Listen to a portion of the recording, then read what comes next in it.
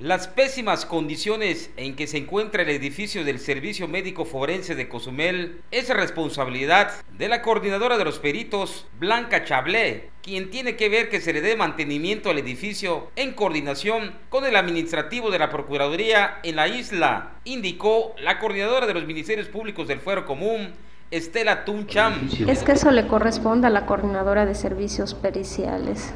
Por eso este, en ella tiene la responsabilidad inclusive de ver el chapeo, la limpieza en el interior del, del, inmueble, ver que todo el, el, edificio pues esté en, óptimas, condiciones, inclusive que entregar en tiempo y forma los cadáveres, los dictámenes, todo ya es con la, con la coordinadora.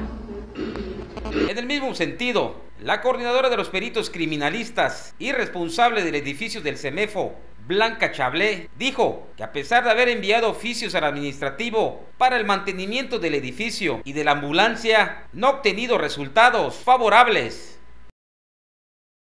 Personal realmente para, hacer ni las necropsias, tiene que estoy contando que tiene que bajar de playa.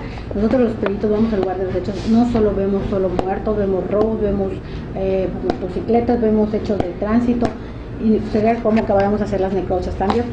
Entonces, el realmente nos robaron primero las tuberías de cobre, luego las bombas de agua, luego este, fueron y pintaron las paredes. En ese tiempo yo no estaba ni encargado, estaba como perito cuando pasó todo eso. Entonces, si yo creo que yo ya pedí, también metí oficio para que la policía judicial nos pueda mandar una... Si te das cuenta, Playa del Carmen, Cancún, siempre hay un elemento cuidando las instalaciones del CEMEFO. Sí. Aquí llevo cuatro oficios y ninguno me contesta.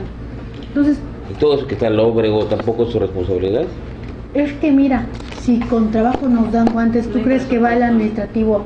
A, ¿Sabes cómo hacen para tener agua? Mandan a una pipa de donativo del municipio. Eso se la pueden meter siempre. Y, y, por ejemplo, nosotros tenemos que darle nuestra vuelta para que vaya una persona a limpiar, nosotros los peritos. Y tampoco la ambulancia que cargamos, tenemos que poner de nuestra bolsa para que vayan, porque metemos oficios y oficios, nunca nos responden. Y es nuestra Promoción Jorge Q, imágenes, William Wam.